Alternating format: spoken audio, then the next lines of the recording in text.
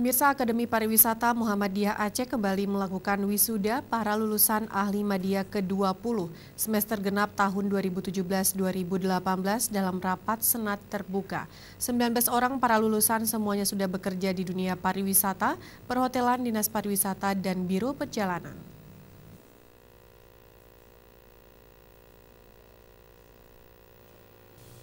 Rapat Senat Terbuka Akademi Pariwisata Muhammadiyah Aceh dalam rangka pelantikan para lulusan ahli media pariwisata ke-20 semester genap tahun 2017-2018. Semuanya para lulusan tersebut sudah mengikuti jenjang pendidikan selama 3,5 tahun dengan berbagai disiplin ilmu kepariwisataan dan perhotelan. Dari 19 orang lulusan, 5 di antaranya yang terbaik dari 40% lulusan terbaik dengan mendapatkan predikat kumlot. Nilai kelulusan terendah 3,50 yang tertinggi 3,98 diraih oleh Andika Setiadi.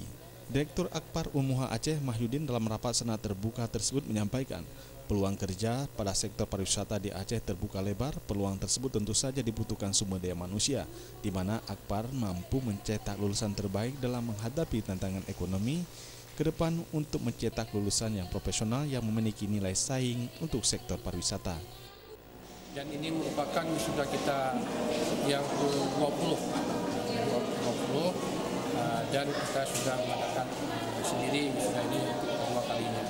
Dan alhamdulillah semua uh, anak-anak uh, kita ini yang 19 orang ini mereka sudah ditampung oleh industri-industri uh, usaha wisata yang ada di kabupaten kota di dalam kesempatan tersebut, staf ahli Wali Kota Banda Aceh bidang ekonomi dan pembangunan Sukri menyampaikan Akbar Umuha Aceh dapat bersaing dengan sektor pariwisata di Banda Aceh, di mana Pemko Banda Aceh menjadikan pariwisata sektor penting dalam meningkatkan PAD daerah termasuk sarana untuk mendukung pariwisata dengan target 1 juta orang wisatawan berkunjung ke Banda Aceh tahun 2019. Dengan harapan sektor pariwisata dapat menyodot tenaga kerja, mampu bersaing dan menciptakan ekonomi kreatif juga termasuk tadi kita perlu juga apa pemandu-pemandu ini yang apa yang profesional.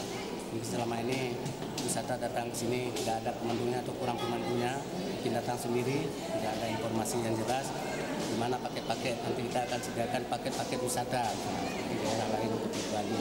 Mungkin kita beda wisata kita dengan apa di Bali beda. Kita kan wisata selama Akademi Pariwisata Muhammadiyah Aceh dengan akreditasi B sudah banyak mencetak lulusan ahli media dan terkait dengan peluang kerja terbuka lebar untuk para lulusan khususnya industri pariwisata di Aceh.